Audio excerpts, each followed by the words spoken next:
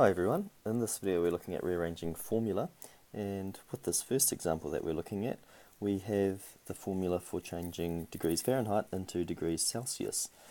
So for this we wanted to make f the subject. So let's write out that formula again.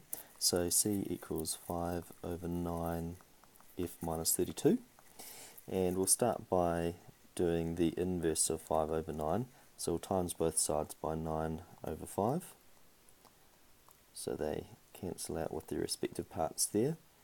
And we have c 9 over 5c equals f minus 32 and then we'll add 32 to both sides. And then we can say that f is equal to 9 fifths of the Celsius temperature plus 32 degrees. So in other words, if it's 10 degrees at home right now, you could put 10 into there and work out what your temperature would be in Celsius. Okay, let's look at our next example.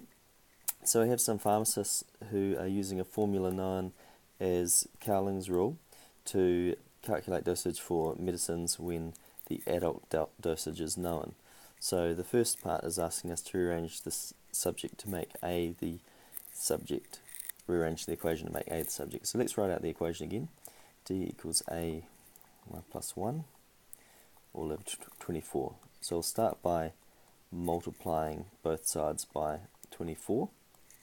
So we get 24d and they cancel out and we're left with a y plus 1 and if we want to get a by itself we'll divide both sides by y plus 1 and so that gives us a is equal to 24d over y plus 1.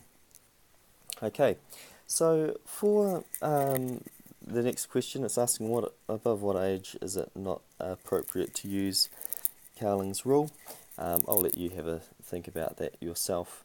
Um, and uh, yeah, I don't want to rob you of that, that interesting task there, um, but you can have a think about why that is. Alright, but um, if you're practicing some of these, uh, have a look at exercise 16.02 and 16.01 please which are on pages 241 and 242.